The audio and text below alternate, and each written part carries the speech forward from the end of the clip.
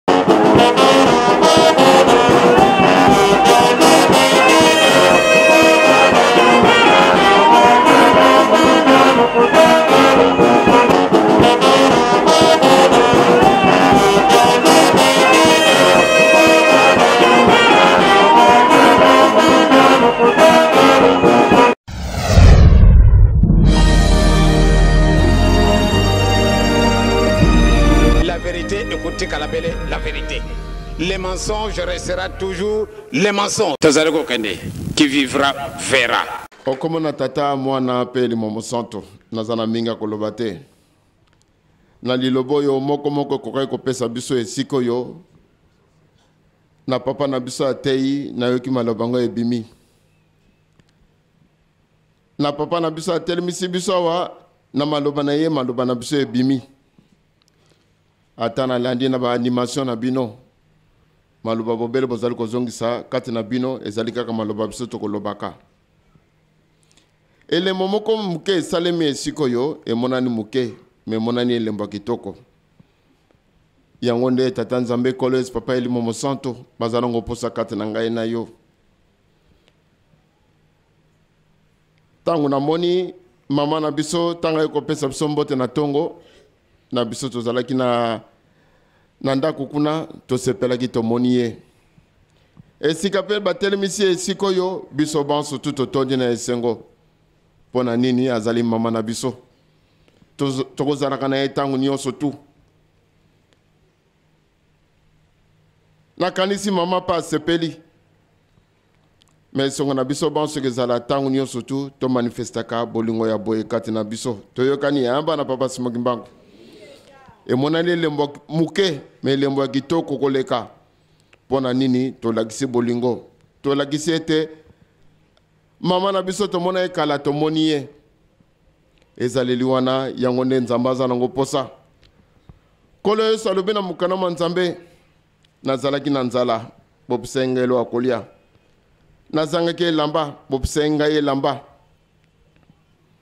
bayekoli batunaki balobi o oh, nkolo ntango nino makambo oyo nyonso te esalemaki Nkolo alobi ya oyo bokosalaka ntango nyonso tu epai na bamisusu bokosalaka yango epai na ngai na ye epai na ngai mwana papa simoki mbangu ya solo natali papa na biso ya kotala biso esika oyo kolonel eza na biso esengo ndenge ya kotala biso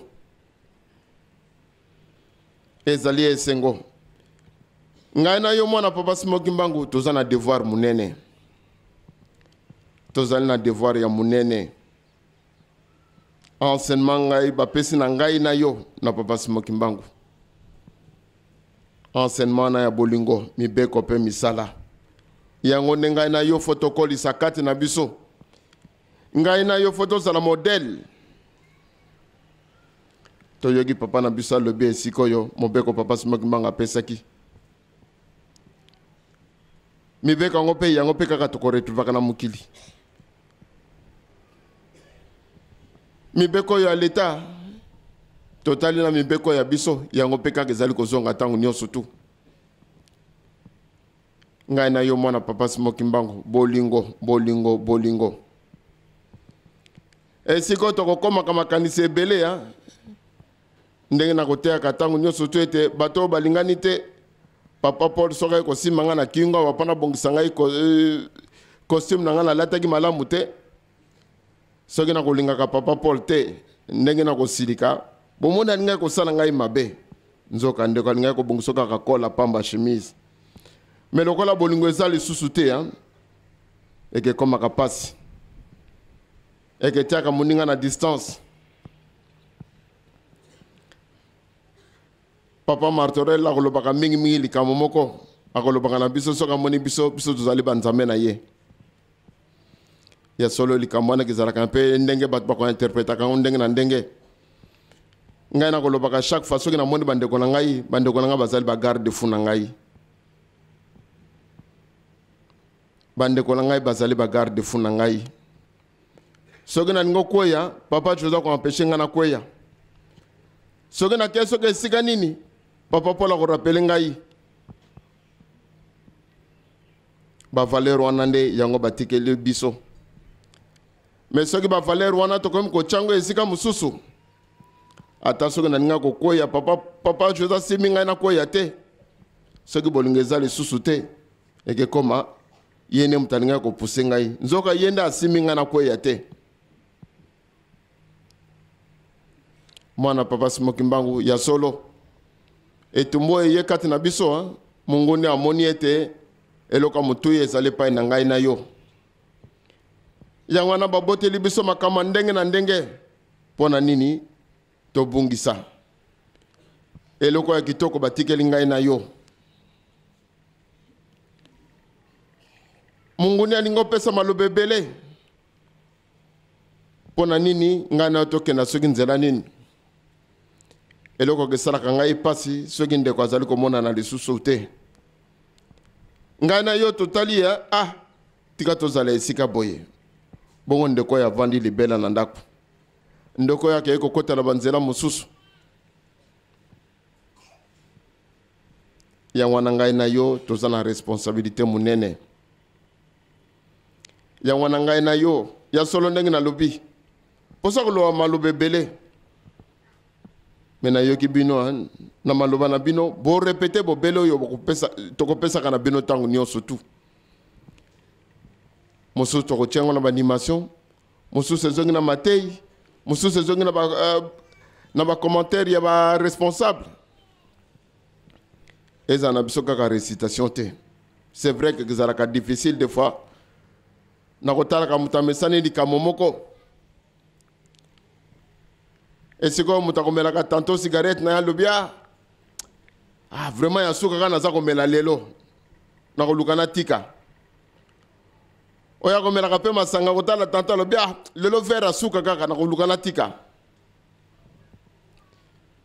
ngai na yo ya solo tozali mpe na baetumba ndenge wana oyo likambo moko moko mposa ezali ete totika yango toyika nde makasi na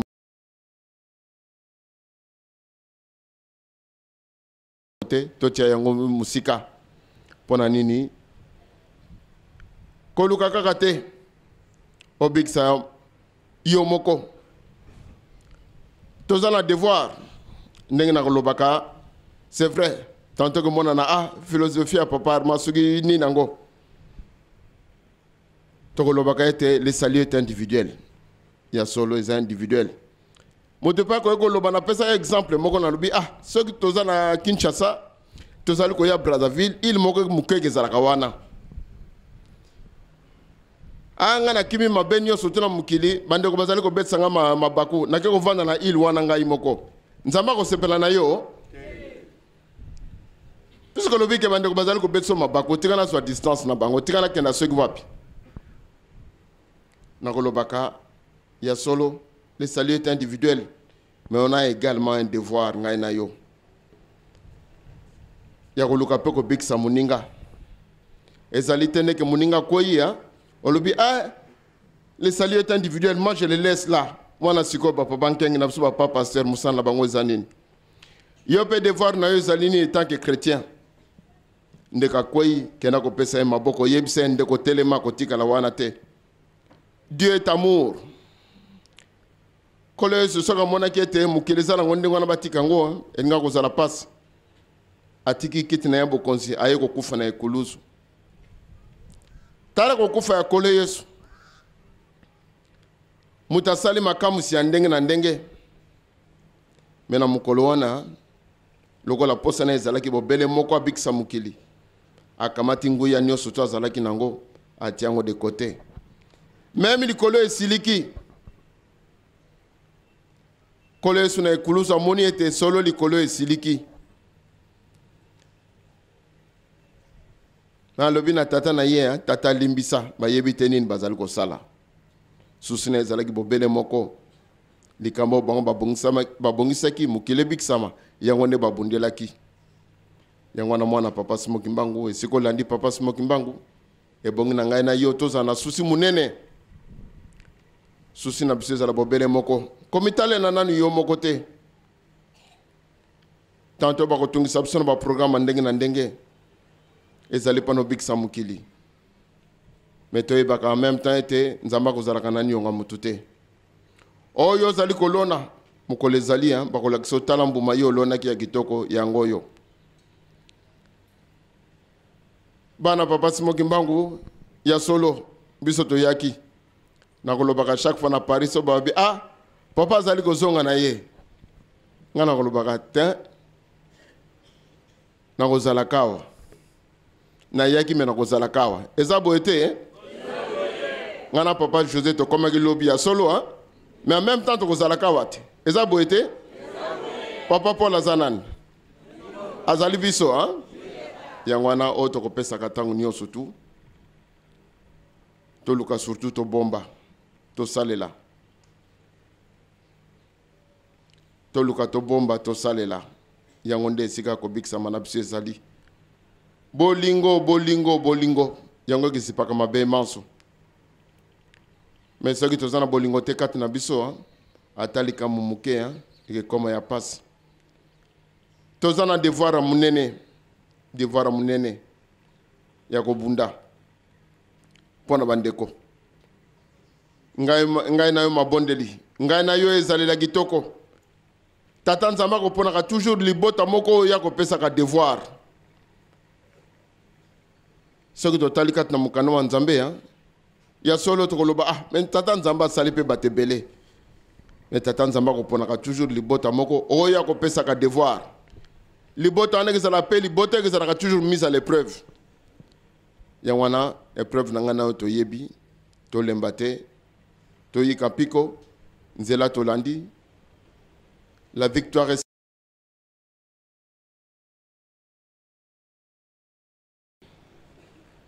liloba oyo tokanisa te ndenge ebandi kolobama lelo makambo soki esalemaka tokoyebaka te ah esalemi boye mpo na nini nakosukisa na ngai bobele na liloba moke nkolo yesu soki totali banganga nzambe ya minene minene bazalaki oyo bayebaki bible malamu soki mpe bayebaki ke ndenge batyaki nkolo yesu na ekuluzu yango nde esika mokili elingaki kobikisama elingaki kozala mpasi balingaki koampeshe yango balingaki koloba e eh, botya na ekuluzu te me tata nzambe bango bayebi te batiki bakamati kolo yesu ntango oyo esika bake kotia na ekulusu ye alobaki na ye eloko moko te bobele na mokanda mwa nzambe yango un peu plus loin avant koya akolo yesu elobi mpe hein, ye mpe bakomema okanisa mwana meme akoloba na ye eloko moko te bakokende na ye joseph esika likambo na ye ekokisamaki ye alobaki likambo bandeko balobi ah, yo moni yo mpe nani yo mpo okomi nani yango toyebi histoire ya joseph esika likambo ya joseph ekendaki kokokisama bango bayebaki te me soki otali banda nango bakokisaki likambo ngai ya joseph ezali kaka bandeko na ye moko te eza boye te eh? mwana 26 ozali mise en épreuve là me toyebaka ke likambo oyo esalemi ya moto moko kaka moto akoganie ezali papa simoki mbangu ye ayebi ntina nini atie ngai na yo boye yango wana na position na biso tozali tokangama na maye bazali koteya biso mpo ete nzambe akoponaka toujours hein, libota moko oyo komona mpasi me mpasi ya libota wana ezali mpona ebikisama mokili na sisi wana okoma tata mwana mpe elimo mosanto amen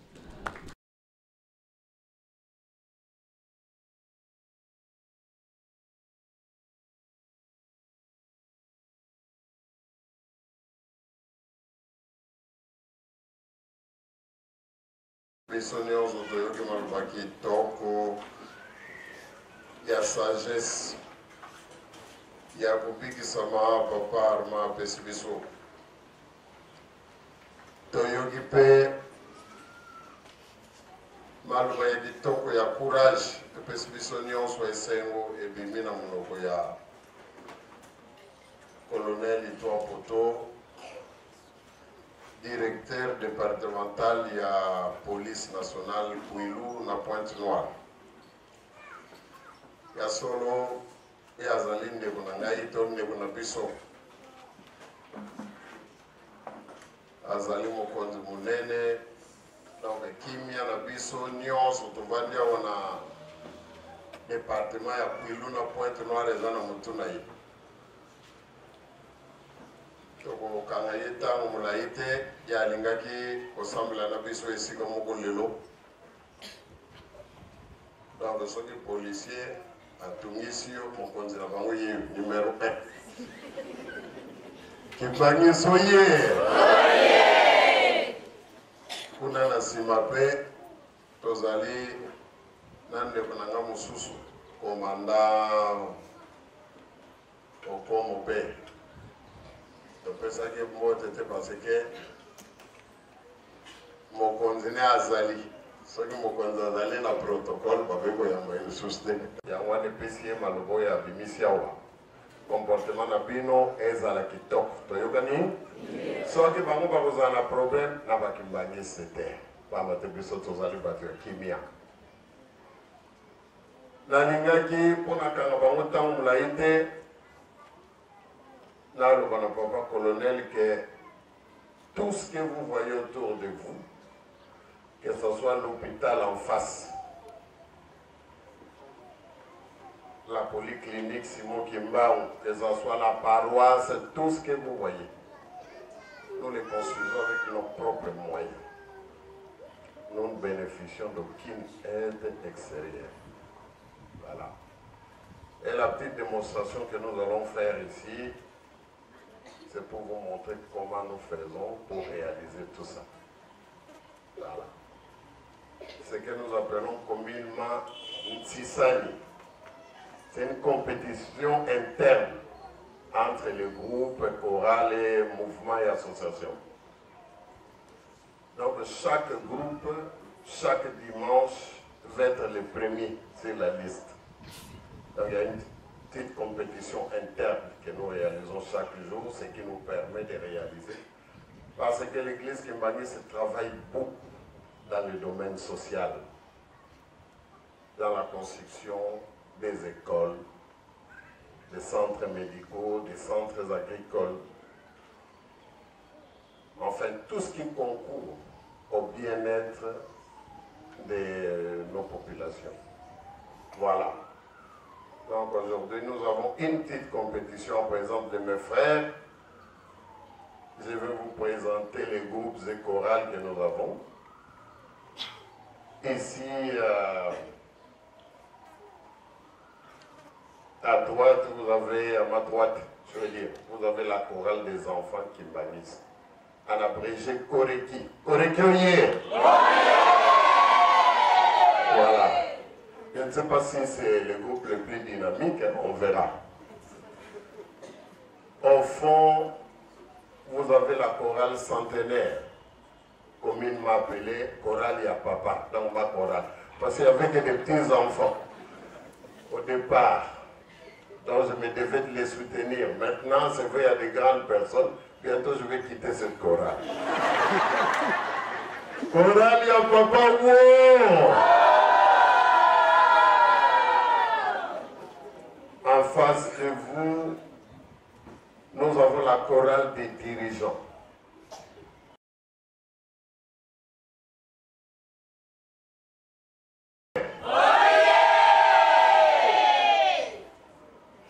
À côté de la chorale des dirigeants, vous avez la chorale des familles des relégués Kimbanguissa. Ça veut dire, en 1921, quand Papa Simon Kimbangu fut arrêté,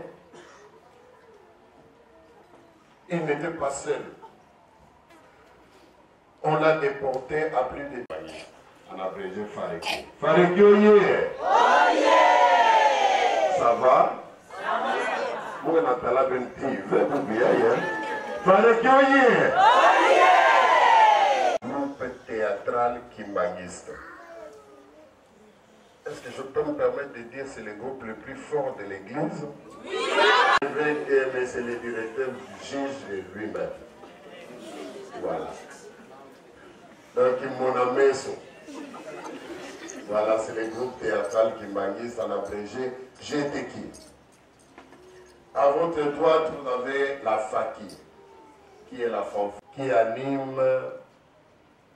pratiquement tous les défilés, tous les défilés, je veux dire, de nos fêtes nationales.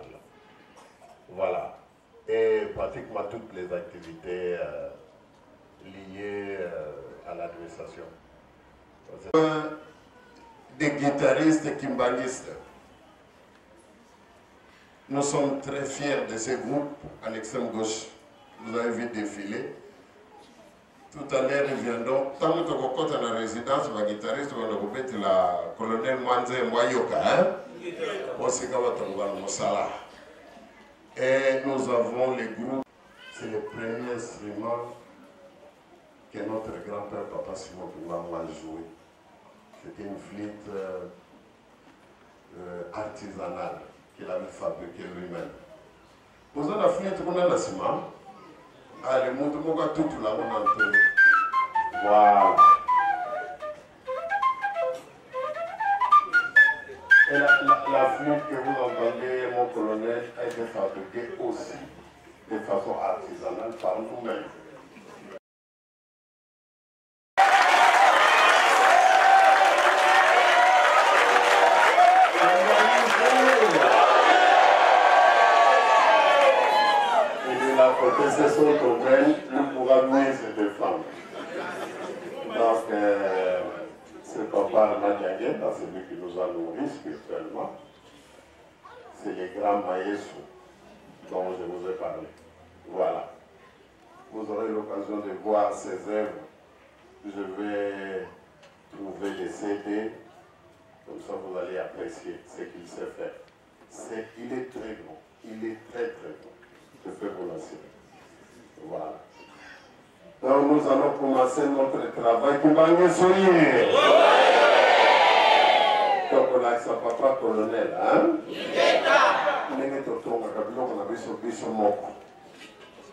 biso mbala mosusu bakimbani pene tungia be mosi motu wepesi betu mbongo fe betu mosi kati bekende wana malemalembe quand on construisait cet hôpital nazalaki kuna na libanda namoni bato bazali koleka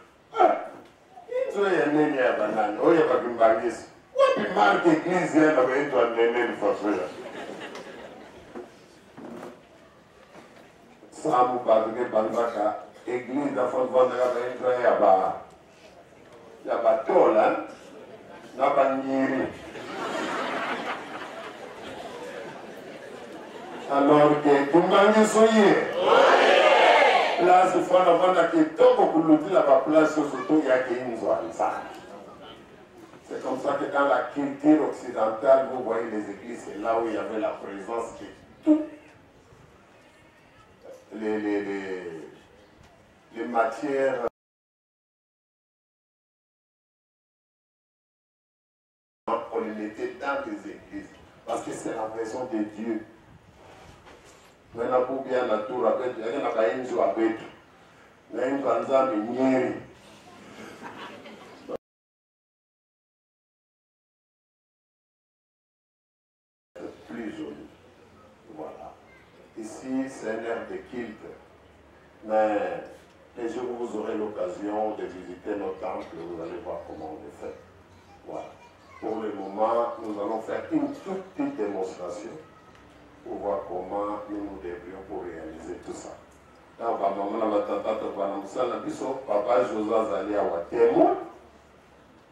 Papa Arma temoin, colonel Itwa Mputu pe temoin. Nani ako gagner lelo?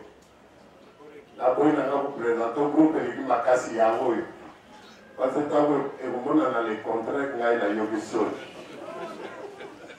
Donc tokoyaka na kopesa papa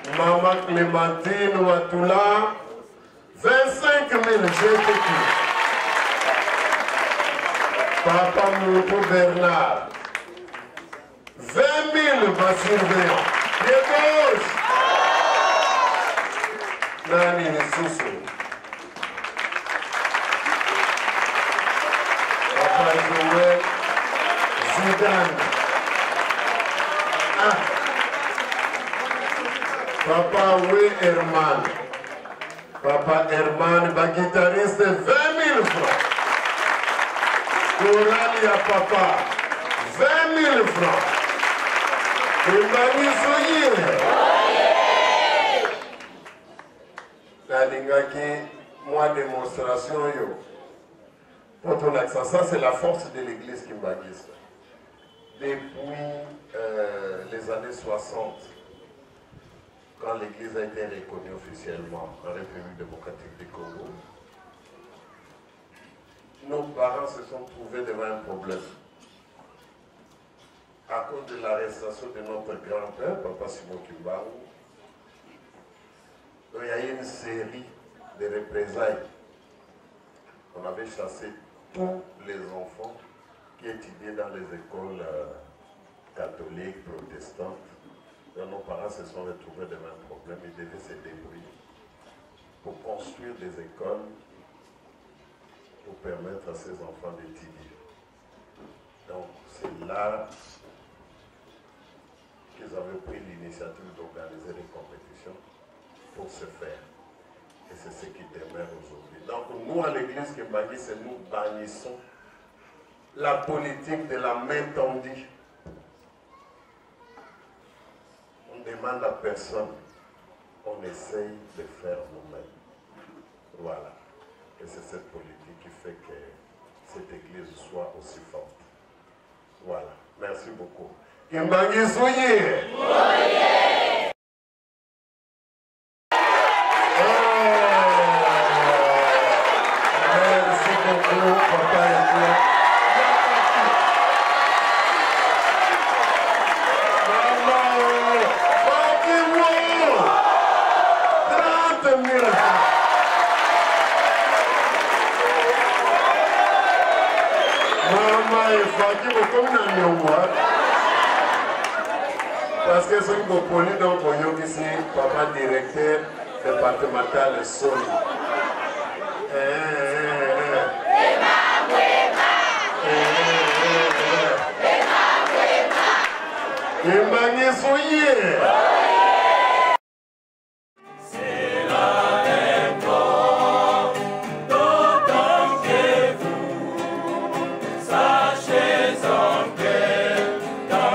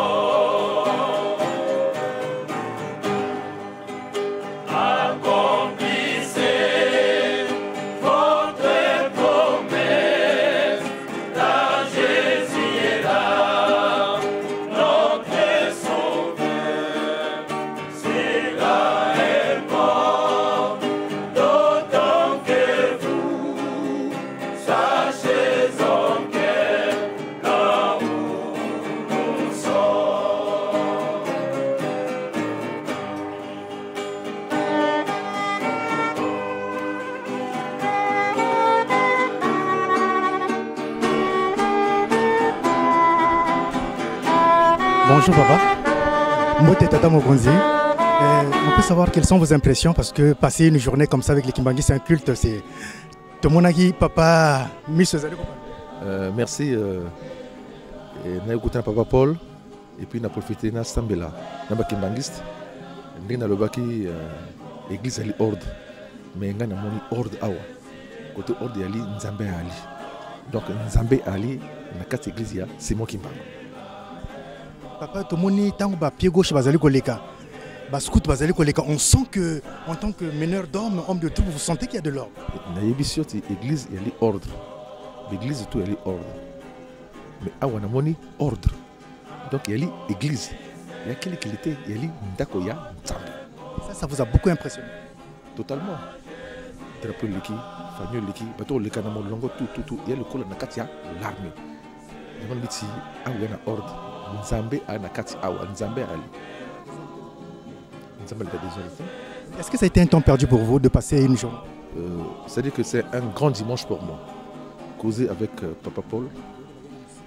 mosika mosika epuis epuis euh, nalekaka namona kaka église kimbangisi église kimbangisi mais namonaka kaka église kimbangisi oyo bakimbangisi mais fanfare toyebaka fanfare parce que fanfare ya kimbangisi na badefile biso tu fanfare wana bato ebandaka soki alarme esili bakimbangisi badui bakimbangisi badui bapa na bango kende mais eyali ordre mais e, e, il faut le mosusu okamwa mais ndenge moto ya moyindo asala eloko ya ordre bongo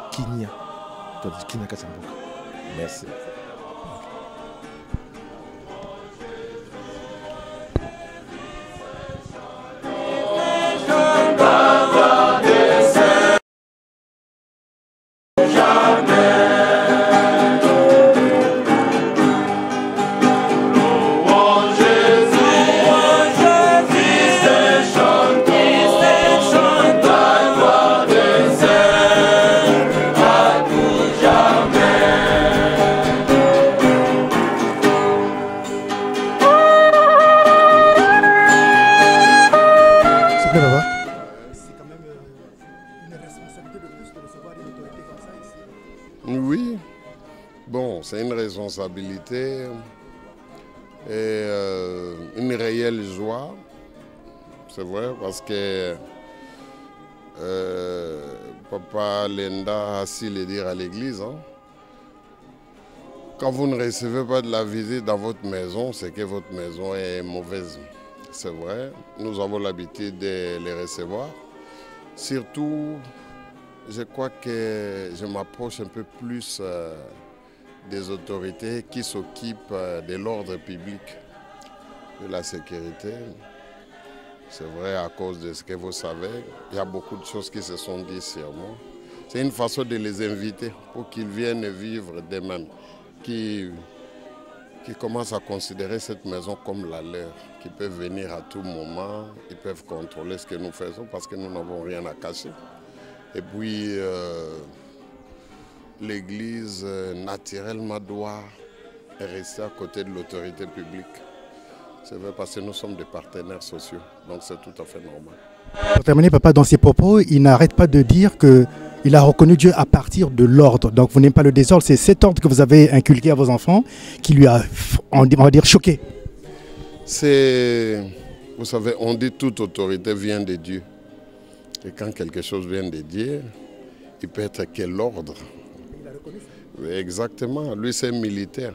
Si tous les militaires du monde appliquaient la loi comme il se doit, il n'y aurait jamais de problème. C'est vrai, euh, euh, je crois que c'est ce que c'est ce qu'on nous a inculqué à l'église Kimbangis aussi.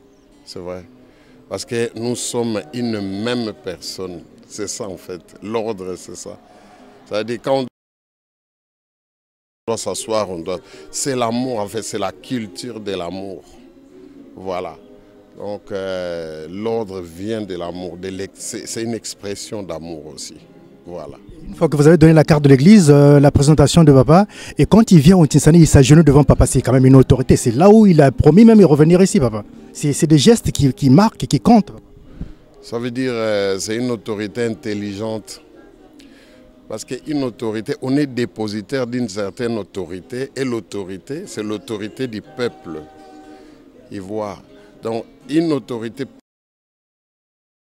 administrative qui ne compose pas avec la population, son autorité voit l'échec. Donc euh, lui, il est dans le peuple, il est au milieu du peuple. C'est comme un délégué. Il a, été délégué pour représenter certains pouvoirs, mais le, les pouvoirs appartiennent au il, il doit, si vous voulez, euh, euh, s'impliquer il observe comment les Kimbangi se font. C'est un signe de respect aussi. Pour, voilà, je suis comme vous, je fais comme vous. Voilà. C'est un signe d'une personne intelligente. Voilà. Merci. Au-delà du respect, mais c'est aussi un signe d'une personne intelligente. Voilà.